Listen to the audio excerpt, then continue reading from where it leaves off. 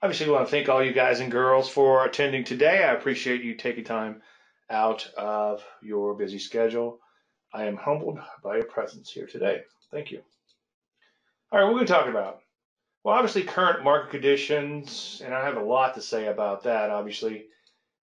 Your questions on trading, and if you don't mind, keep your questions related to the slides just so I can stay focused on the slides and my ADD doesn't kick in. If you know me, I tend to go off on tangents and rants, although some people tell me that's actually a good thing that I have. When I try to tell them directly what I'm trying to tell them, they ask me, they tell me, geez, I really didn't get much out of that. But when you go off on a rant, we get it. Anyway, looks like I'm going off a rant now. And if you don't mind, hold off. This is for your benefit until we get to the live charts for stock picks. And you can ask about as many as you want. We'll get to as many as we can. And if you don't mind, also, this is for your benefit, by the way, ask about one ticker at a time.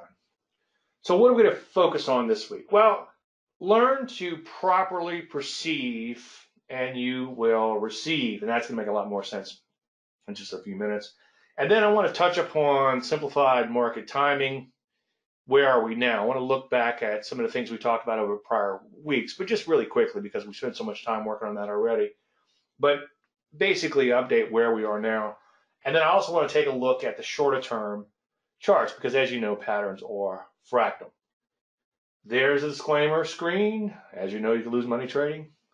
Or, as I like to sum it up, stealing a line from my buddy Greg Morris, all predictions about the future, and a lot of stuff can happen between now and then. Learn to properly perceive, and you will receive.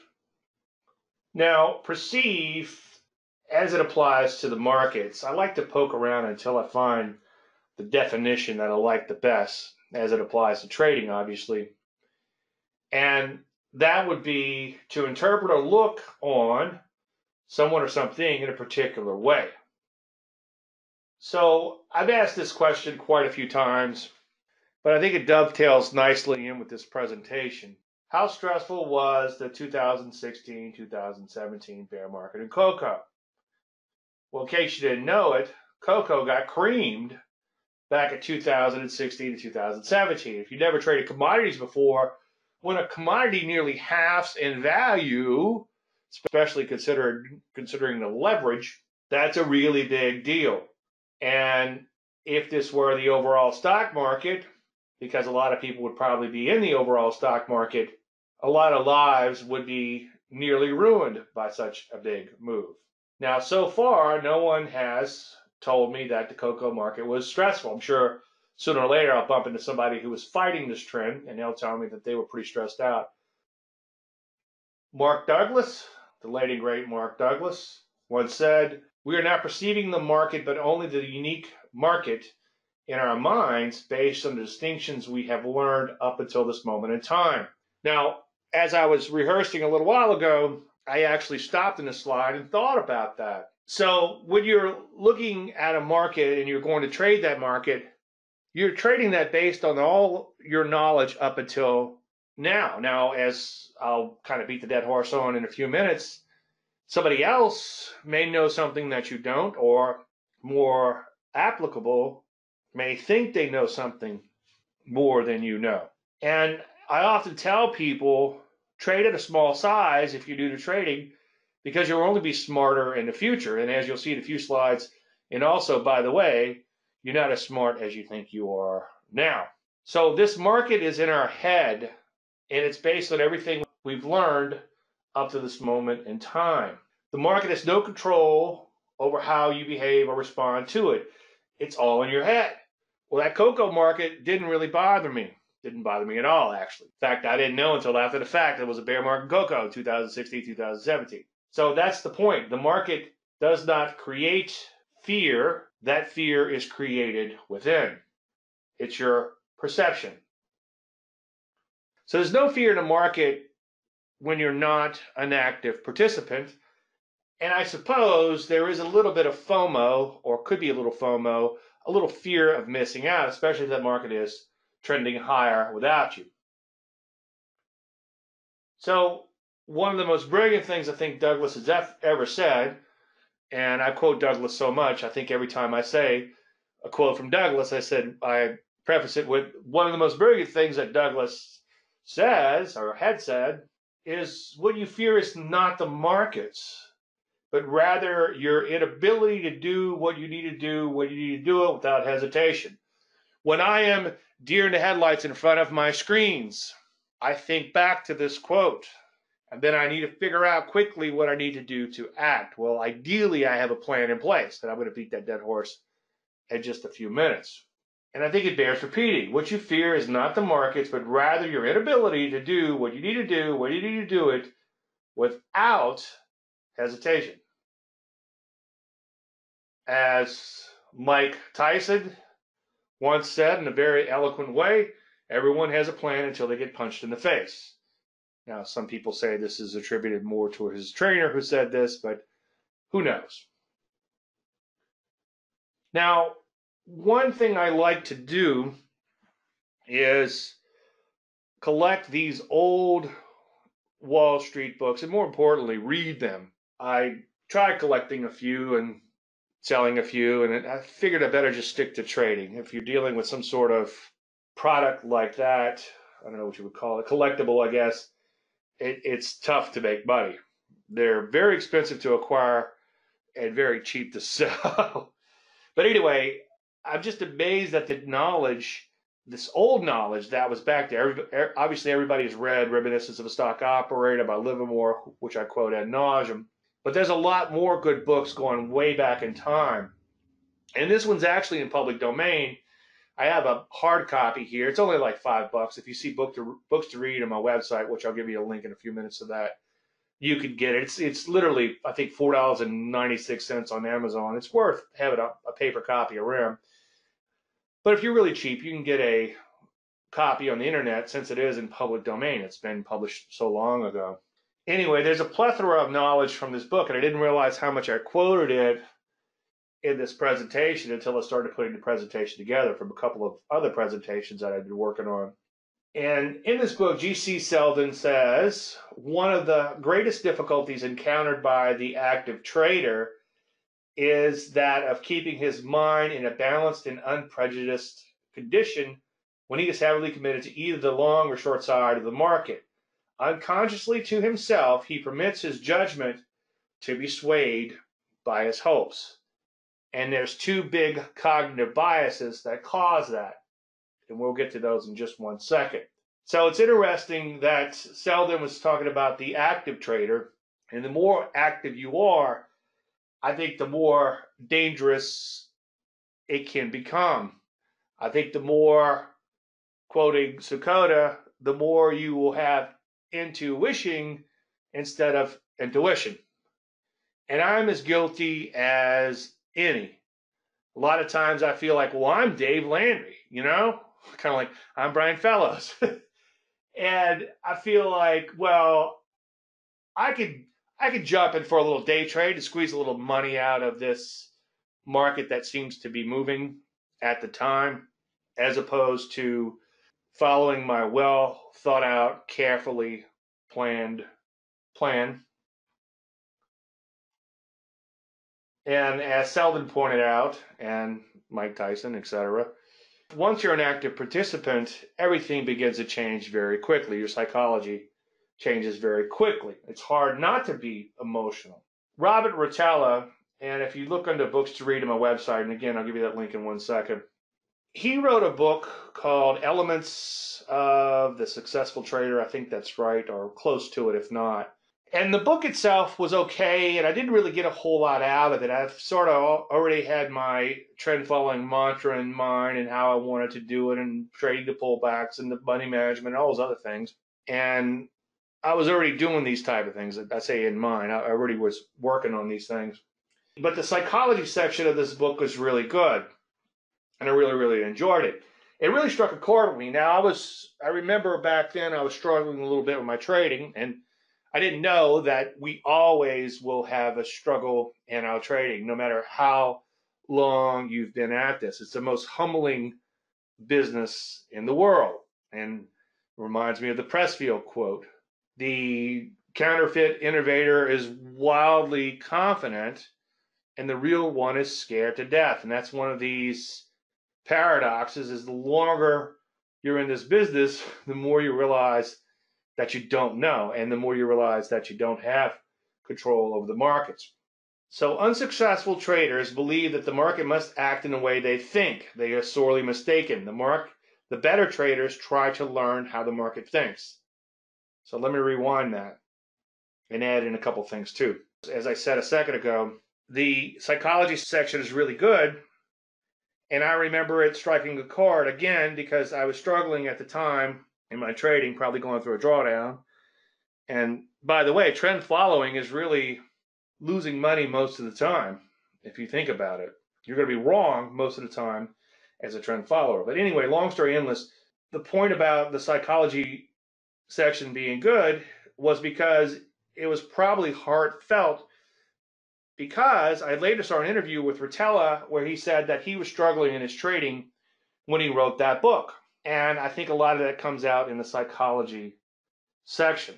So unsuccessful traders believe the market must act in the way they think. And they are sorely mistaken. The better traders try to learn how the market thinks. And I Googled him a while back, and this is where I got the picture. And looks like Mr. Rotella is doing fairly well. And again, I keep coming back to this Psychology of the Stock Market book, published probably 100 years ago or more. Few persons are so introspective as to be able to tell where this bias in favor of their own interest begins and where it leaves off. Still, few bother to make an effort to tell. So we have a cognitive bias, and this is especially true once we're in an active position. Once we have, what's it all saying, a dog in the fight? Optimism then must consist in believing not that the tide will continually flow your way, but that you will succeed in floating with the tide. Sounds like trend following. Your optimism must be, in a sense, of the intellect, not of the will. You can't impose your will onto the market. If I could, you never would see my fat ass again. An optimism based on determination would, in this case, amount to stubbornness. So, forcing your will into the market is being stubborn. And believe me, the market will quickly humble you if you try to be stubborn.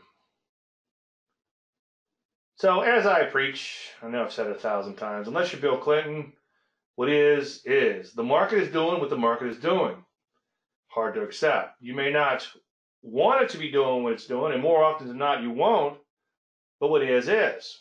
So the price of the instrument, the ask, is the lowest amount that someone will sell it to you. And of course, the bid, the value of the instrument, the bid, is the lowest amount that someone will pay you for it. I have pay you for it. Sound like Modia here. will pay your for it so again, you might not like it, and chances are statistically you won't. And I've done a lot of this these presentations where I've talked about the fact that more often than not you're in a state of regret. And I hinted that a minute ago. Trend following, you're going to be losing money most of the time. You're going to be underwater most of the time. Trend following is treading water in between big trends. Most people give up during that treading water phase.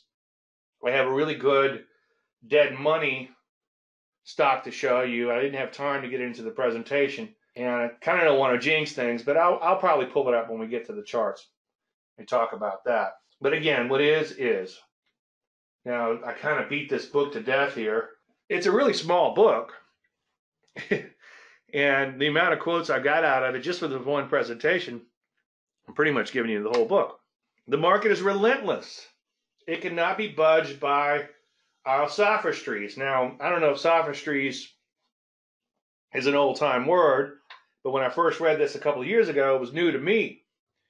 And I kind of get into this flowery, flowery, if that's a word, flowery language that a lot of these books used back then. And if you're like me, as soon as you find a word that's kind of interesting or different, you look it up. And I had never heard of a sophistry before, but it's a perfect word. The use of fallacious arguments, especially with the intention of deceiving. Well, we try to impose our sophistries, meaning that we try to impose our will upon the markets. So, starting from the beginning, the market is relentless. It cannot be budged by our sophistries. It will respond exactly to the forces and the personalities which are working upon it.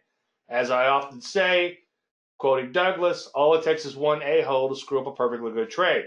And if you think about it, have you ever been in kind of a thin stock and you're trying to get out, but you don't want to pay that stupid wide ask? And then you put your order in somewhere in between the bid and the ask, and then you look at your screen, and lo and behold, that's you on the ask. So, right there, even if you're just trading a few shares, you become part of the market, or you are part of the market. And that one little ask, maybe when their stock trades at that, could trigger something else. And it could have maybe a cascading type of effect. Now, it would have to be a really thin stock, but you kind of get the idea. And there's a lot more people out there obviously doing the same thing. So it will respond exactly to the forces and personalities which are working upon it with no more regard for our opinions than if we couldn't vote. We cannot work for our own interests as in other lines of business. We can only fit our interests to the facts. What is, is. To make the greatest success, it is necessary for the trader to forget entirely his own position in the market. We keep coming back to that. Once you're in an active position, that plan goes out the window because more than likely you're going to get punched in the face, at least a little bit. His profits or losses the relation of present prices to the point where he bought or sold. As I was reading this a little while ago, before we went live, what is he talking about there? Well, he's talking about sunk cost.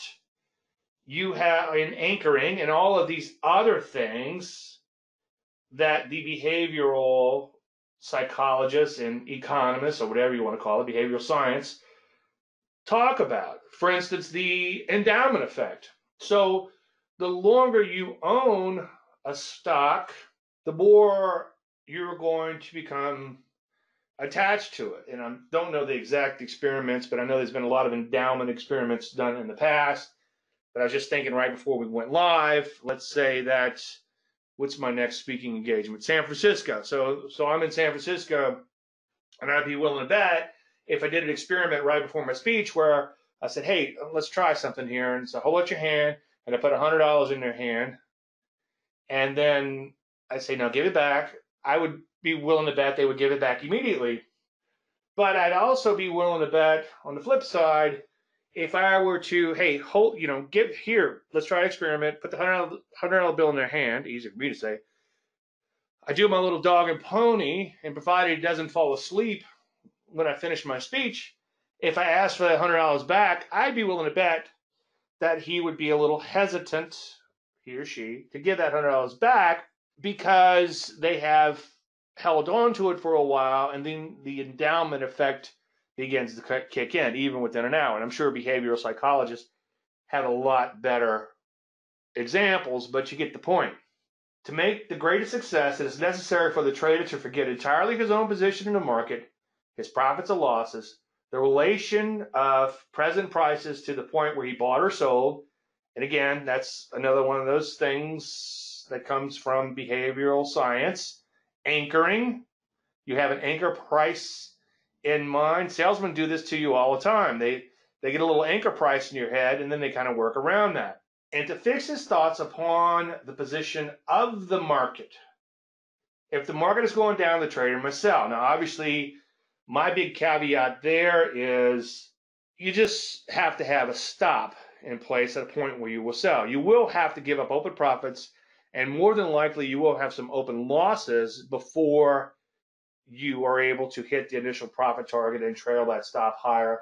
And if everything works out perfectly, ride out that longer term trend.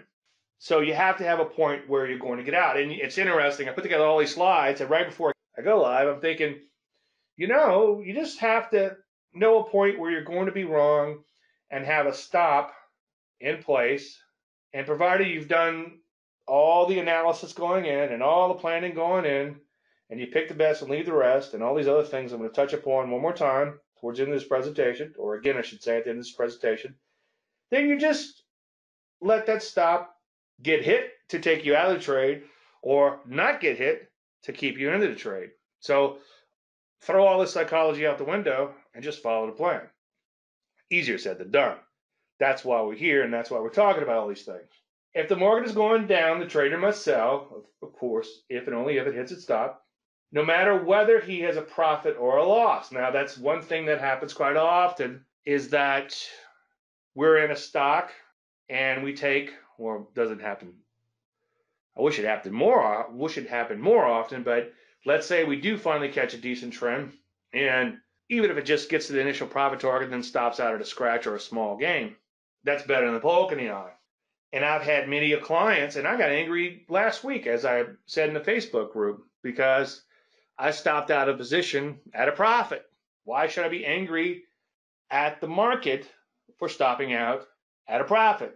So a lot of times you have to be willing to give up some open profits in order to capture a potential longer term trend. And there's been times when I stopped out of my second loaf after holding positions for maybe a year or two, and I think, geez, I really gave up a S ton of profits on that trade. That really sucked. And then a month later, or two months later, or a year later, sometimes even years later, that stock will come up in my scans, and I'm like, holy moly, it tripled from where I got stopped out. So it just reaffirms that that's part of the process, giving up those open profits. But a lot of times people get mad and send me a nasty email. Boy, that really sucked, Dave. It's like, well, wait a minute. Did you make money? Yeah. And you're mad? send it to me. As I said ad nauseum years and years ago, I got screwed three quarters of a point on an option that was 29 points and the money. I got 29 points profit on the option position. I bought it at the money. And I was bitching to another trader. He's like, let me get this right. You just made a boatload of money and you're complaining? It's like, well, it woke me up really quick. So if the market is going down, the trader must sell whether he bought a year ago or two minutes ago. And that's where that endowment effect comes in. And the more I read this, the more I realize how much of this behavioral science, which is a relatively new field, has been around much longer than these behavioral scientists or these behavioral economic people would ever realize. Because 100 years ago, G.C. Selden was talking about these things.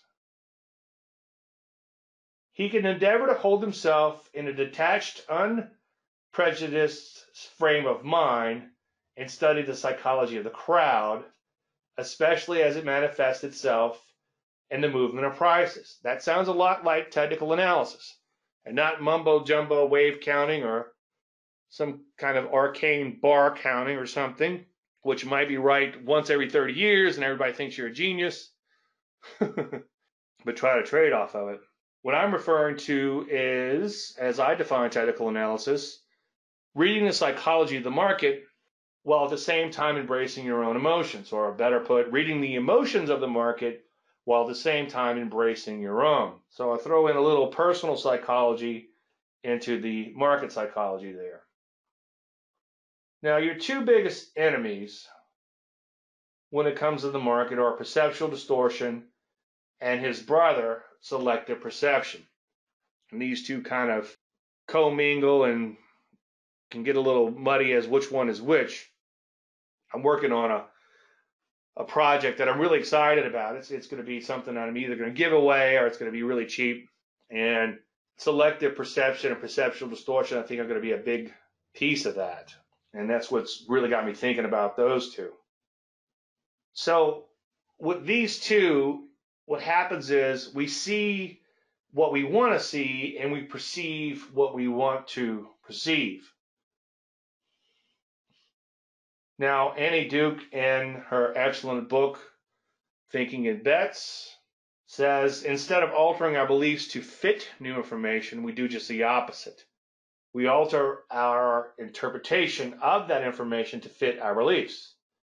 And if you go to www.davelandry.com slash books dash two dash read, you can get a list of those books that I would recommend, everything mentioned in this presentation, including Annie Duke's book, and people that I quote often, such as Greg Morris and others.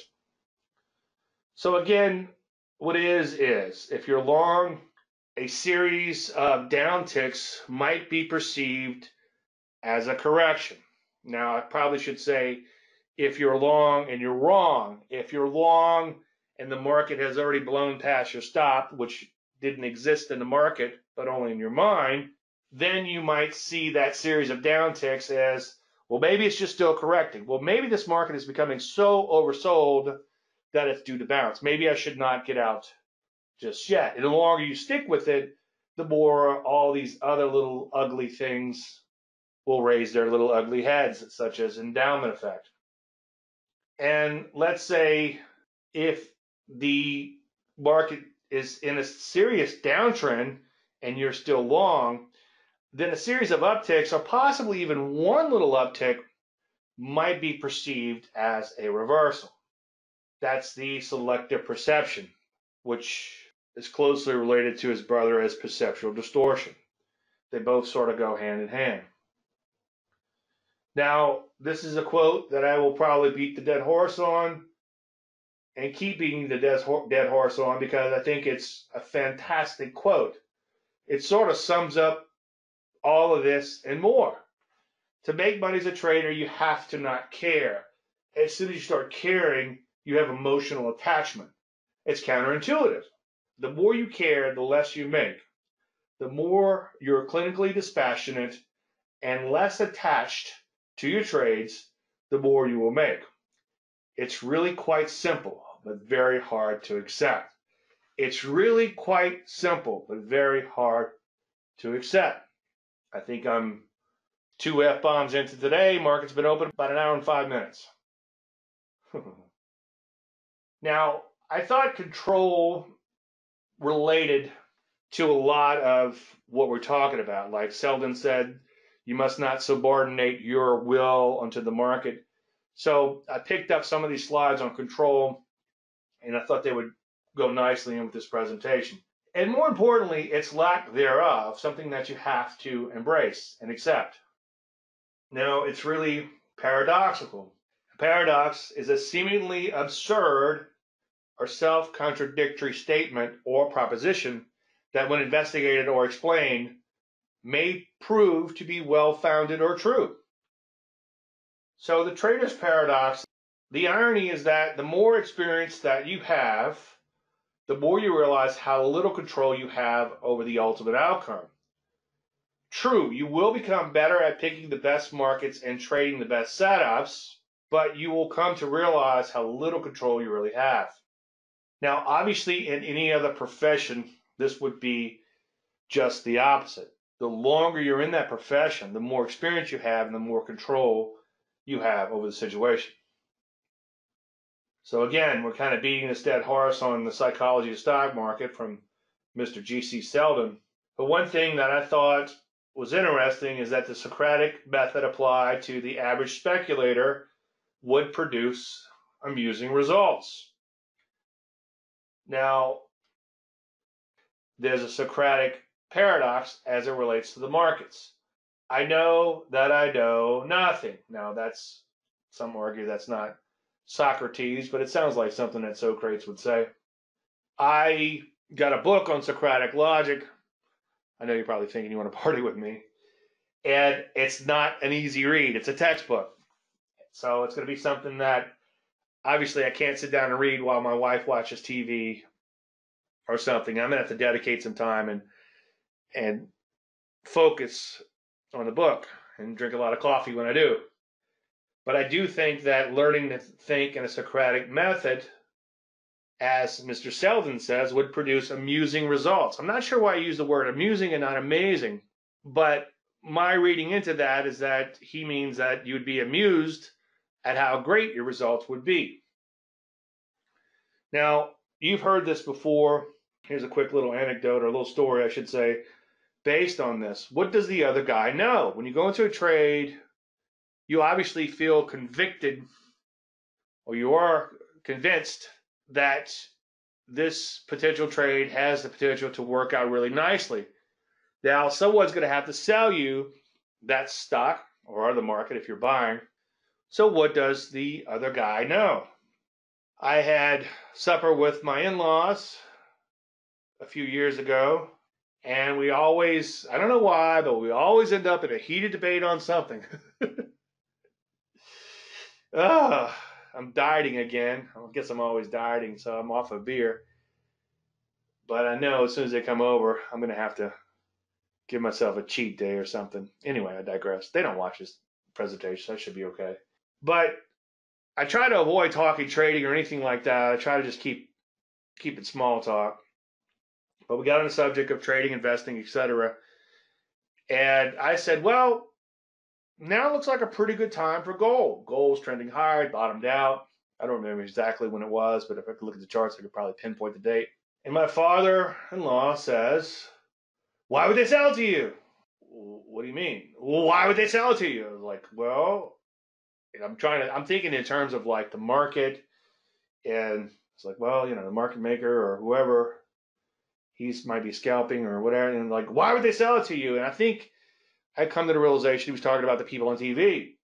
And then, well, I tried to explain to him that that's not what I meant. Like, don't buy gold off TV because the reason they would sell it to you is they probably have a 20% markup. Well, he continued with his line of reasoning, which was just repeating over and over, why would they sell it to you? Well, why would they sell it to you?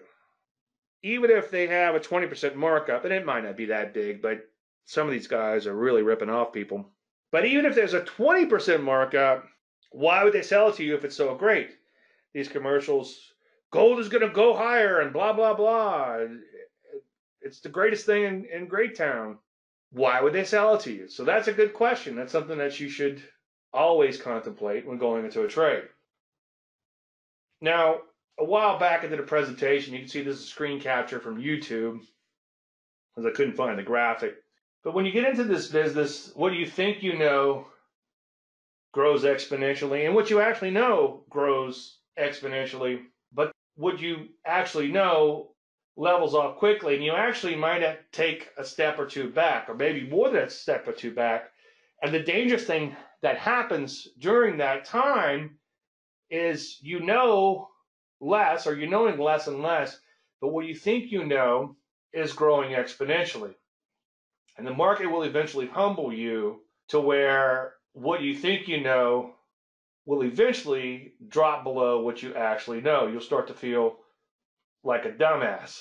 Now, I didn't continue this chart forward, but eventually what you actually know will have a gradual increase, and then that might accelerate a little bit higher, and that will merge with what you think you know to where you realize obviously you know that you don't know exactly what a market will do next but you reach a point where you embrace this, and what you think you know and you actually know merge together and then slowly climb over time, and then will increase as time goes on.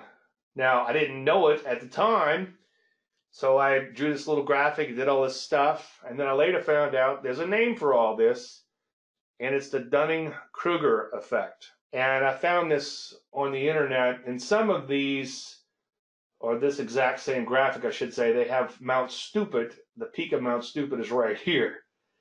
So you gain this incredible confidence going in, and as you gain experience, that confidence begins to wane. And then as you gain more and more experience and start reaching the expert levels, that what you know and the confidence begins to increase once again. So it's kind of like there's nothing new under the sun. I make these market discoveries and then find out someone 100 years ago talked about the same thing or some sort of psychology discovery when it comes to markets. And then this book that I just beat the dead horse on said a lot of the things that I'm thinking and feeling many, many years ago. So obviously, when we trade, we step out from the known into the unknown. And obviously, you want to do all your planning in the known phase, and that is while the markets are closed and plan the best you can. Pick the best, leave the rest, as we'll beat the dead horse on even more in a few minutes. So when you step into the unknown, you're ready for the unknown. Now, you want to do obviously a careful analysis, but once that's done, you have to accept the outcome good, bad, or indifferent. Once you enter the trade, you have to accept the fact that you have completely given up control. The only thing you now can control is you. Your protective stop is set at a distance based on statistics and not fear. Many times people, oh, I, I can't lose that much. I'm just going to risk a point. Well, the market's bouncing around. The little hot biotech that you are trying to trade, it's bouncing around eight points a day. So your one point stop, I could all but guarantee is going to get blown through, and you can lose a lot more than one point. But let's say it doesn't get blown through, it just gets hit. I could almost all but guarantee it's going to get hit on noise alone.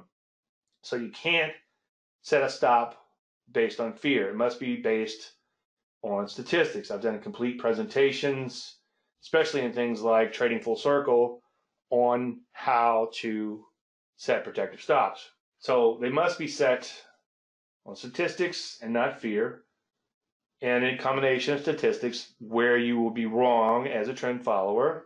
So they're going to take you out when you're definitely wrong and keep you in as long as you're right. As I said a few minutes ago, we're talking about all this psychology, but the reality is if you're picking the best markets going in, your stop is going to tell you whether you should be in the position or out of the position and it will stop you from subordinating your will into the market and all these other negative things that I've touched upon.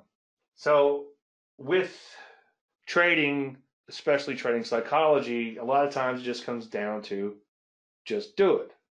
Just like I wrote the ultimate guide to determining market trends, which was uptrend page one and an up arrow, downtrend page two and a down arrow, and sideways page three and a sideways arrow, the ultimate guide to trading would probably be only five or six more pages.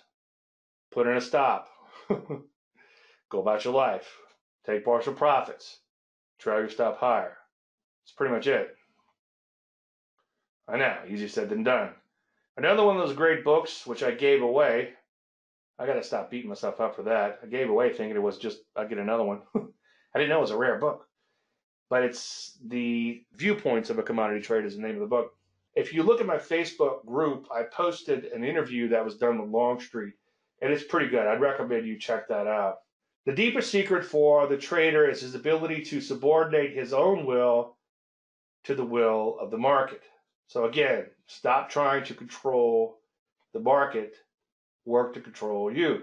Now, Mr. Longstreet's quote, which was long before Larry Williams' quote.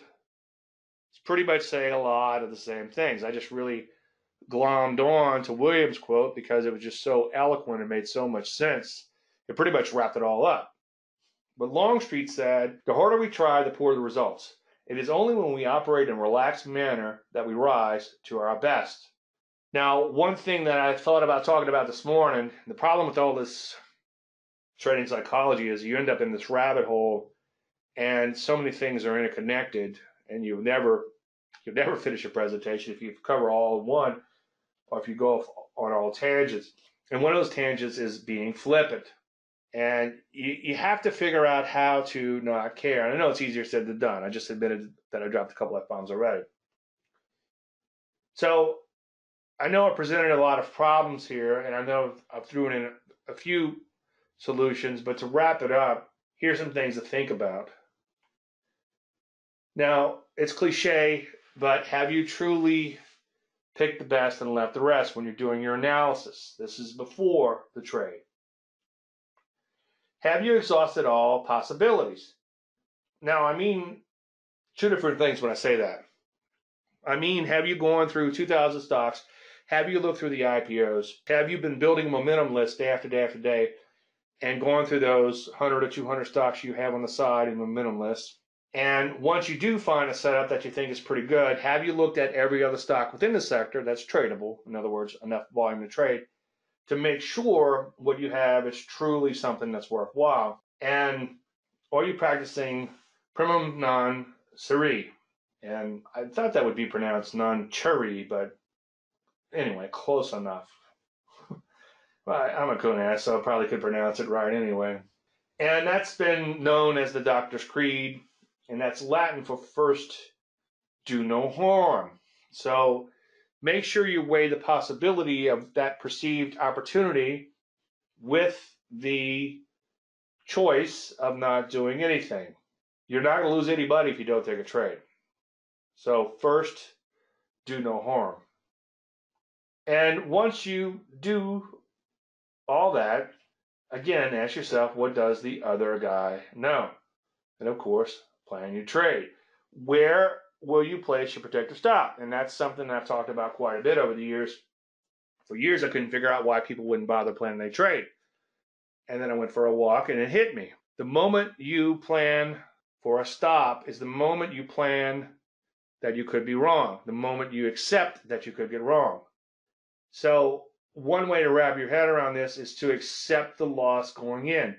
It's a cost of doing business. And if I'm risking 2%, I know that going into the trade, if I'm stopped out, I'm going to lose 2%. Now, I can't guarantee I won't drop an F bomb going in, but I accept that loss going into the trade. And 2% is a number I've worked on over the years, and it seems to be about the right size. I've seen people say 5%. I think that's just ludicrous because at 5%, let's say you're, you're wrong, I don't know, five times in a row, that's 25%, six times, 30%. You get the idea. And you can get a pretty ugly streak of losing trades. So I think 2% is just about right. As I tell people, and some people, when I tell them this, they're like, thanks for telling me that. Now I feel more normal. Is that your position's always going to be too big when it's a losing position, and it's always going to be too small when it's a winning position. And that's just, is what it is. I have an angry bird outside my window. Go have no fun somewhere else. Now, one thing I've talked about for before is mind sculpting and there's a lot of neurology at, at work here. And without getting into all the neurology of it, if you can just accept the fact that mentally rehearsing is a huge thing, you want to mentally rehearse right before you get into the trade, and then mentally rehearse what's going to happen during the trade, and then what's going to happen after the trade. Well, we're going to talk about during and after now, but the bottom line is you want to see yourself taking the setup if it triggers, and then see yourself not taking the setup if it doesn't. Now you're like, well, Dave, why wouldn't you take it? Why would you do that? Why would you just take the setup if it triggers? Well, a lot of people don't. A lot of people become deer in the headlights. Well, it triggered. Well, it's coming back in. Let me just wait a little while, see what happens. And then by the end of the day, if they had taken a position, it'll be at a loss. It's like, man, I sure am glad I didn't take that position. What happens next day? Gaps higher 10 points. You'd be surprised. So middle mentally rehearse. What are you going to do before, during, and after the trade. And one thing I've kind of stumbled upon recently, and it was through Scott Adams' book, which is in the latest now column, and the, the column, the latest the now column before that, which you can get off my website, is affirmations. And I think this is going to be a whole presentation in and of itself, or maybe multiple presentations, is big affirmations are great, and I have some huge affirmations that I do every day now. But the small or much smaller affirmations are going to be the conduit that are going to get me there. And that's the same thing with you too. It's the small affirmations are going to be conduit that gets you there. I will not take any unplanned trades today. Okay, the big affirmation, I want X million dollars in Y years. Yeah, we all want that, right? And do those affirmations, but do the smaller affirmations to get you there. I will not take any unplanned trades today. I will not mentally monetize my profits today. I will honor my stop today, and so on and so forth.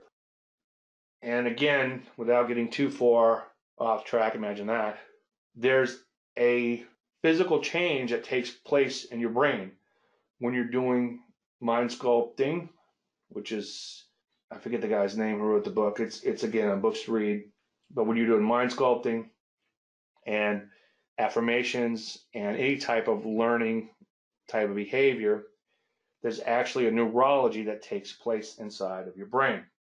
And if you look at the last now column is a little bit on that neurology, but just know that your brain actually changes and in a positive way, obviously. Now, during the trade, what you might want to do is put a passive order in to enter. I'll give you a case in point. I came in today, I saw a big gap, a big gap down in the stock that's mostly trending higher. And I thought to myself, I said, this thing is way overdone. I'm going to step in, make a little day trade on this. And I saw it immediately reversing around the open. And I said to myself, Dave, just sit back and relax a little bit because this is an unplanned trade because you don't know what the ogres are going to be until they happen. And then you actually have to work on the fly to trade. And for those of you who aren't familiar with the ogre, it's an opening gap reversal. If you go through the Q&A and if you go through the methodology on my website, these are S&G type of trades. This, these are not our bread and butter, but sometimes we could pick up a little money here and there in between the big trend trades. So what I did was I placed, I wanted to just jump into the market. And even though it was at a spot where I thought it would be triggering or a good trigger, I said, let me just go another point or so above that entry and put in a stop order and then come back to working on my slides. Well, it nearly hit that stop order, but it did not trigger and reversed. And so far, it's down 10 points from that level. And that just tells me right there if I'd have been emotional and just jumped in, I would have been faced with a 10 point loss over about 15, 20 minutes. However, by letting the market make a decision for me, by putting in a hard stop entry order, I avoided that trade. Doesn't always work, okay?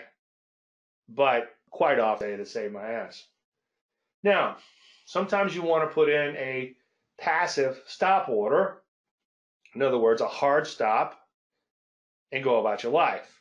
And if you are super duper disciplined, maybe use an alert. Now, when you're using alerts, you have to be very disciplined in that you will immediately act upon that alert. In other words, if it hits the stop, which isn't a hard stop in this particular case, but alert, you will exit that market and not become a deer in the headlights. When applicable, you want to place passive orders to take initial profit targets and trail stops. So I'll give you a couple examples of that. You might put in, I'm not a huge fan of limit orders, but sometimes a limit order can be great for taking profits. This is especially true in a thin IPO. I'm kicking myself in the butt on a little IPO that I forgot to put in a limit order on and it spiked up on the open, not today's open, a few weeks back, and I could have taken my initial profit target out of the trade. So, and that creates a lot of psychological stress and emotions and everything, all the other baggage that comes along with missing a profit target. But when applicable, place that passive order, that possible limit order, and then in some cases, if you're doing like an ogre trade, you might put in an actual trailing stop. In other words, you're not adjusting the trailing stop on your own. That is done automatically, whatever the amount, distance, or whatever you determine. And you might actually have an initial profit target based on that too. And I've got some walkthroughs on that in the in the members area on the Q&A, so check that out. You want to hope for the best, but fear the worst.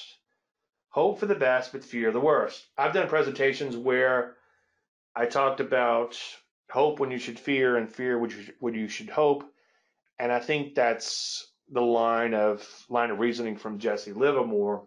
You must fear that your losses don't get any bigger and hope that your profits continue. And again, I did a whole presentation just on hope and fear, but a lot of times as human beings to do just the opposite. So you have to have that stop in place and fear that that loss won't get any bigger and that stop will take you out. So that's one way to overcome that fear is to place that stop. You can't hope that it comes back. I think that's the point I'm trying to get to. You must hope that your position keeps going higher, but fear that it won't and have a stop in place in case it doesn't. Commit to commitment devices to overcome akrasia. I think that dovetails nicely in with the micro affirmations. So I, Dave Landry, will walk away from my screen if there's nothing to do when I get done with this presentation, I'm going to look at my screens and see what's happening. But I also know myself, so I have a friend coming over. I'm going to go exercise. We're going to ride some bikes, and that's going to keep me away from the market for a couple hours. And then I'll come back and do my nightly analysis. So if there's nothing to do that I haven't planned to do, at least, then I'm going to go about my way, or I will set some alerts and have my phone with me and trade if and only if my alerts go off. Now, I can't beat the dead horse on this enough. You have to do an honest post mortem when you're done the trade. I haven't, you truth be told, plumbers have the worst pipes, right? I haven't done a whole lot of post mortems lately. I've been a little lazy with that, but do the post mortem. Go back to day one, back your chart out to day one, and ask yourself, was this the greatest looking setup in setup town? If the answer is yes, even if you lost money in a trade, then you did the right thing. And in that post mortem, make sure again you pick the best and leave the rest. And it's in perfect hindsight, but you kind of have to try to forget about what happened in the market, in the news, whatever, and then make sure that you would take that setup if you were just seeing it today. And if you did, pat yourself on the back. If you say, What the hell was I thinking? as I preach ad nauseum, that's okay. I still do that today on occasion, but I do it a lot less than I used to. And then, of course, did you follow the process? Those are the two biggest questions you have to ask yourself. Did you pick the best, leave the rest, and did you follow the process? You do both of those things, you're going to be fine longer term. Now, if you are super brave, and most people aren't, hold yourself accountable. As I've said quite a bit, client that does really well, then blows up a little bit, small accounts, or at least small for him, does really, really well, catches a bunch of big trends, takes my Landry list and prints money, then he starts over trading or day trading, does all these other things, and then he has since committed to some commitment devices, as I've said before, to fix those things, somewhat drastic ones. But anyway, as you said, would you be willing to put together a trading plan, explain it to your wife, and then trade that trading plan, and then show your wife what happened afterwards, but show her that A, you did plan the trade, and that B, you did follow the plan, and that C, outcomes are noisy, and maybe explain a little Terrance Odean to her, Annie Duke, and all these other people. anyway, again, as I've said quite often, he says, "Oh no, that would end the marriage." So he knew deep down that he wasn't even holding himself accountable, and if he showed his trading to his wife, that would be a disaster. All right, real quick, where are we now as far as the market timing is concerned? I left the slide in from last week. Not a whole lot has changed on it. We'll take a look at the daily chart in just one second. This is a weekly chart. The green line is 10% away from the 50 week closing high. The red line is just simply a 50 day, I'm sorry, 50 week simple moving average. And the little blue up here illustrates how far away you are from that 50 week closing high. The system is long or bullish, however you want to look at it, as long as you're above the green line. In other words, as long as you're within 10% of the 50 week closing high. And you have two bars of upside daylight, meaning, or upside Landry light as I now call it, meaning that two weeks the lows have been greater than the 50 week moving average. That's the entire system. I've beat this beat the system to death over the last several weeks to months in the on my YouTube channel, so feel free to check it out there. Another simple market timing system is just use the Landry light in and of itself. If you're above the 50 week moving average, if the lows are above the 50 week moving average, I should say, it's green, as you see up here. These are the number of days you've been above that 50 week moving average. Stay long as long as it's above it, and then look to exit or possibly even short when it's below it. Your major bull markets, it'll be really green for a long, long time with very little red. Your major bear markets, it'll turn red and stay red for a long time. And sometimes in between, you'll have a little correction to where you really need to think long and hard about getting out of the market. Now, I've kind of talked about 2015, 2016 quite a bit, but that was one of those cases where, yes, you should have exited to get out of the market. Now, we talked about major weekly bow ties last week, and that's when you have a weekly bow tie coming off a major high. And a major high is, let's say, a 10, let's say an all time high, and a major low would be, let's say, a 10 year low or 15 year low, whatever the case would be but it's significant, a very, very significant low, especially after you had a long extended bear market like we had in 2000 and 2008, which is actually, I call it 2008, 2007, because that's when the bear market really started back then. Anyway, those weekly bow ties could be really cool. Now, this is a live chart here. There's been some discussion in the Facebook group. And yes, we are now to a point where we have an hourly bow tie down. Remember, patterns are fractal. We just looked at some weekly charts.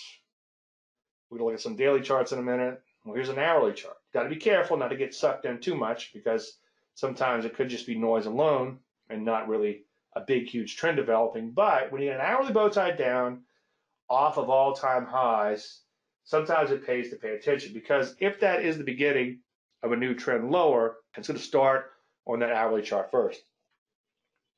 And we'll take a look at that just one second. So where's winter? It's funny, I go back into presentations and every time the market's a little iffy here and there, I pull out that bastard Jon Snow and start talking about winter. Winter is coming. so far, it hasn't gotten here, and we don't know if it's coming just yet. Now, remember, the S&P 500 is long on the TFM 10% system and some other metrics too. If you're looking at some of those other even more simplified techniques for following the trend. But it's interesting that the Rusty hasn't triggered a buy signal yet with the TFM 10% system. So it would have to be above this green line, which is 10% below the 50 week closing high, and it has to have two two lows greater than the 50 week moving average. And so far that hasn't happened. And by the way, the last signal we had here back in September, the market dropped 18%. Now, 18%, that's to me, that's a diaper change moment. That's a big drop. And once a market drops 18% that fast, as a trend follower, I have to wonder is it going to become something much bigger? In this case, it turned right back around. But I think anyone who held through that and reason that they should hold through that, even though they look like a genius today, eventually won't look so smart. So again, we have no Landry Light just yet if you're a member of DaveLandry.com, which quite a few of you are, but haven't joined the Facebook group, please join the Facebook group. I will prove you right away. And also, when you go to join, it's going to ask you what email you use to sign up. So please let me know the exact email you use to sign up for the website so I can get you in there. And that's just to keep the riffraff out. And that's right on top of the members area. And if you're not a member, I'd encourage you to become a member. I have a lot of happy members so far, and we've been doing really well for the most part in the Facebook group. Although there hasn't been a whole lot of opportunities yet. I'm sorry, not yet. That's not a Freudian slip. There's been quite a few opportunities. There hasn't been a whole lot of opportunities lately, but we have found quite a few things so far there, and I've been having a lot of fun, as some of you have. At least that's what you're telling me in the group. So really been enjoying that. A lot of fun. All right, let's let me shift gears here, and then we'll uh, let's go ahead and open it up into hello, Dathan we'll open it up for individual questions. I mean, individual stock picks. Just want to show you a couple things real quick with the market. Let's start with the P's.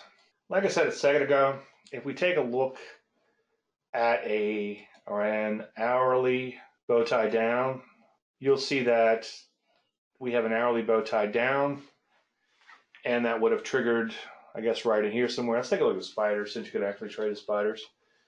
Now, I'm not saying rush out and short.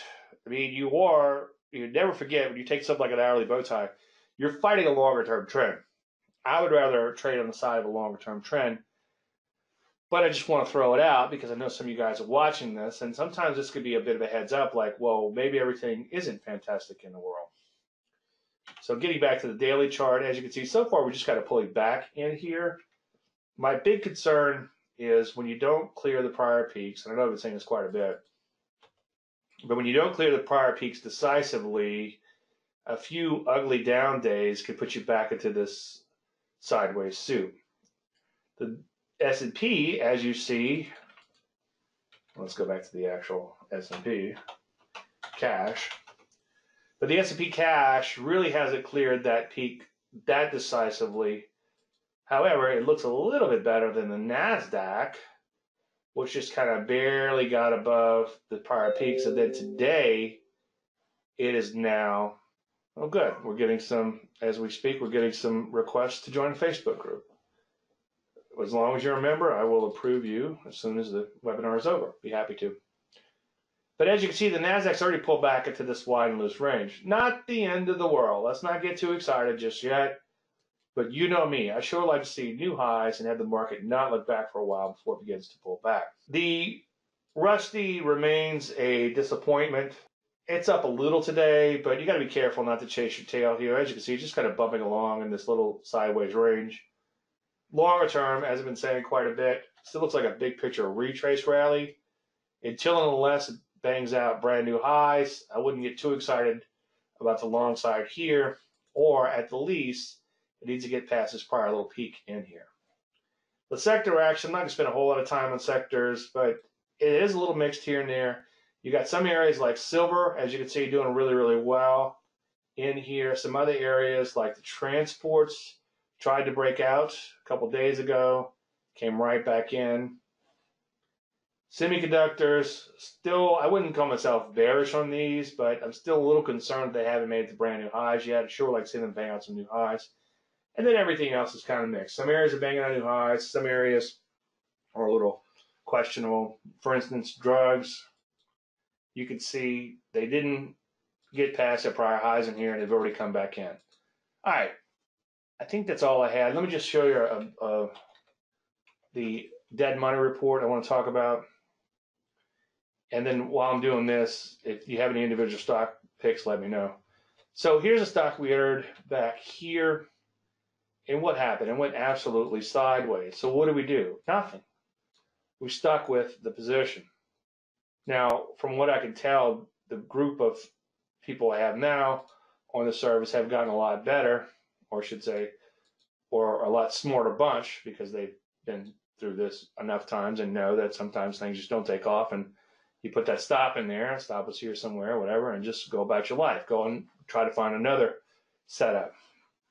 But you can see one, two, three, four, five, let's see, May, June, July, round numbers, that's um, let's say about five weeks, six weeks, seven weeks, where you were barely making money or even underwater on the trade, and then it finally took off. Well, it didn't do anything wrong. Yeah, it went sideways, and you're a trend, Dave, you're a trend trader. Don't you want it to go up? Yeah, of course I want it to go up. But sometimes the market has its own time frame. Again, what did I just preach about for an hour and change? You can't subordinate your will to the market. And all you have to do, and I know easier said than done, I'm sure I dropped some F bombs along the way with this one, more than I care to admit, but all you have to do is put that stop in place and go about your life. And then, of course, take those partial profits when it rallies up, which I think was on this day here, get that stop to break even, and then trail loosely. But this is not dead money, okay? Dead money, if you go to, I guess, investopedia.com, is paraphrasing, is a position that has no potential for any further gain. Well, if I knew this stock would not go up, then obviously I would get out. But you don't know that. If you knew that, you'd own the world, by the way.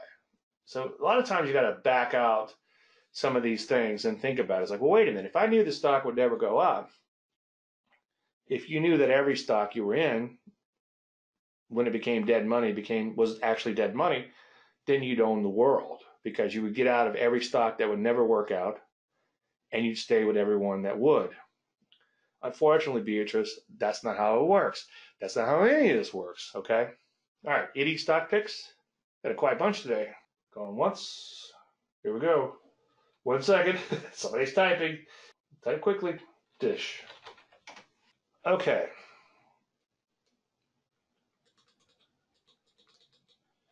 Well, one thing that I'm seeing here is it barely got past its prior little peak. And the other thing, of course, is it's a huge stock, okay? So let's back the chart way out. It's just going to have a lot of trading to overcome. I wouldn't say a tremendous amount of overhead supply, but quite a bit. And HV is about 30, which isn't super duper low. I mean, the stock can actually move, but I would try to find something not necessarily super thin, but something a little thinner that has more potential to move. Okay. So I'd pass on that. And oh, by the way,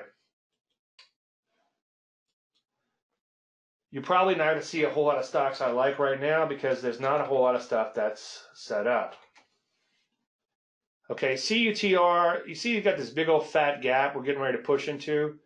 Well, markets have long memories, okay? So anybody who got caught in that gap is now looking to get whole, okay? Anybody who bargain hunted back here is looking to get whole.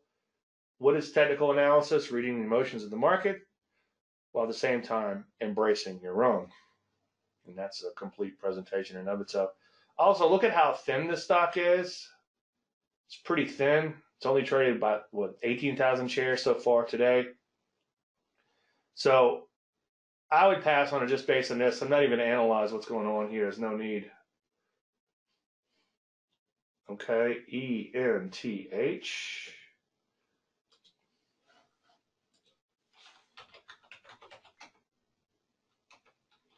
Oh, E H T H.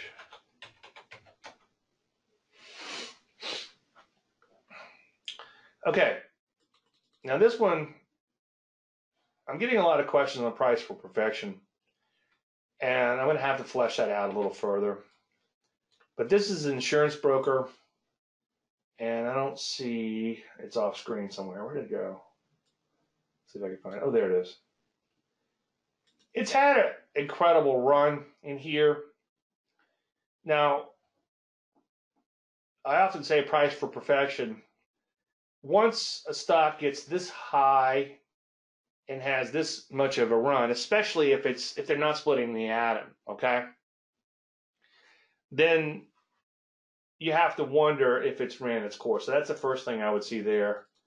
And maybe try to find something at a lower level. Now I'm gonna talk out of both sides of my mouth. The stock is never too high to buy or never too low to sell. But ideally you want to short stocks that are coming up at higher levels and you want to get long stocks before they've had tremendous run ups. Now, they might be a pretty serious run up, but if it's been in a trend for years and it's up 500%, especially if they're not splitting the atom, and especially, now in this case, it's not that thick, but especially if it becomes a really, really thick stock, then there's so many analysts that are covering the stock and so many people are on the wrong side of the trend, or I should say, are, or on one side of the trend and I, and I, I don't know if this is the correct term or not to use, but it's a crowded trade, so to speak.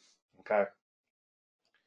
So I would say yes, maybe on more pullback, but I would also try to find something that's in more of a developing trend. It could be a trend knockout or a pullback or something like that, but just something that's in more of a developing trend as opposed to that. Now, this one looks interesting, and I was hoping this would be a good example of a more developing trend. But you have a mountain of overhead supply to deal with, and depends on how you want to measure it to here or to here. So I would immediately pass on that one, throw it out. That next one you're gonna that's that's that next one you're asking about is the one that I was gonna use, but I'm gonna save it for next week's Q and A because it's on the Landry list for today. So I can't. Sorry about that. I can't talk about that one. But yeah, good eye on that one. The WK, this is another stock, looks like it's priced for, for perfection. Easy for me to say. It's ran from here all the way to here. That's a pretty big run. And let's zoom in a little bit and see what it looks like. And the other thing is, it's just kind of grinding along in here. Notice that back here, it sort of shot higher, and then now it's kind of grinding along. You want to see just the opposite. You want to see a stock do that and do this. So it looks to me like it's losing momentum. VCTR. On a net net basis, it's kind of going sideways here, so you want to see it break out. Also super duper thin, too thin. So I toss that one out. ARD, you know, again, you're gonna have to look at this overhead supply. You're gonna have to look at look how thin. Okay, too thin overhead supply. CPTA. We need to get you in a stock selection course. That you have some really good picks, but a couple of them need a little work. It's okay, room for improvement. Uh, again, you know, going back to that stock we saw recently, the big gap down, so a lot of bad memories in the stock, and also a little bit on the thin side. I mean the the how how thick a stock is is a little tricky because if it's too thin, then it's it's hard to trade. We call those as uh, I think it was John in the Facebook group calls them Hotel California stocks, bastardizing the line from the song. You could check in anytime you want, but you can never leave. So a little bit of a problem with that one because one, it's thin, and two, it has bad memories. So pass on that. Okay, any more? Well, while we're on impasse, obviously I want to thank everybody for coming. We're almost out of time anyway. I appreciate you again taking time in busy schedule. Any unanswered questions, you can go to submit them at www.davelandry.com slash contact. And I will either A, cover them in an upcoming week in charts. And if they require a lot of thought, I will cover them, cover them in the Q&A section. And I'll give you some information on how to get a trial to the members area, or I'll just get you set up for that. There's a way to do it automatically. I don't have to show you. And that way you'll be able to watch my answer. Quite a few of you have done that and thanked me for it, and you're welcome. I'm happy to do it. All right, everybody enjoy your weekend if we don't talk between now and then. Thank you so much.